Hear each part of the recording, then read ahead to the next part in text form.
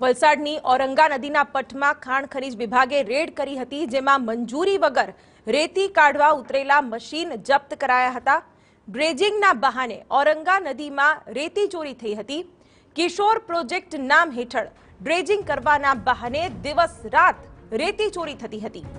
ઔરંગા નદીને ઊંડી કરી પાળા બનાવવા માટે સરકાર દ્વારા પ્રોજેક્ટ મૂકવામાં આવ્યો હતો પરંતુ કોન્ટ્રાક્ટ એજન્સી રેતી કાઢવાના મશીનો મૂકી રેતી ચોરી કરતી હતી આસપાસના દસ ગામના રહીશોએ અગાઉ રજૂઆત કરી હતી રેતી ખનન બંધ કરવા માટે કલેક્ટર અને ધારાસભ્યને પણ રજૂઆત કરાઈ હતી